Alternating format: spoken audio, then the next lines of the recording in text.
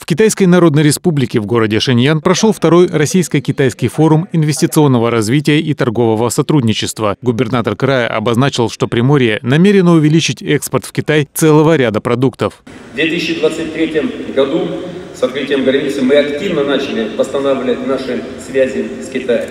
В результате совместной работы по итогам прошлого года торговый оборот между Китаем и Приморьем вырос на 14% и составил 8,6 миллиардов долларов.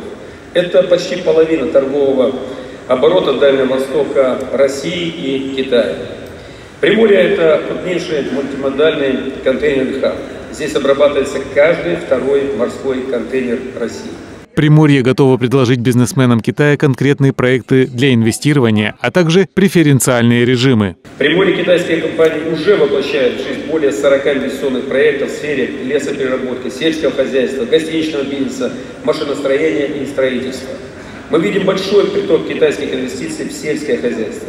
И у нас большие перспективные э, площади, ранее занимаемые под рисоводством, которые требуют мелиорации готов предоставить инвесторам из Леонина или других провинций до 30 тысяч гектар для выращивания риса.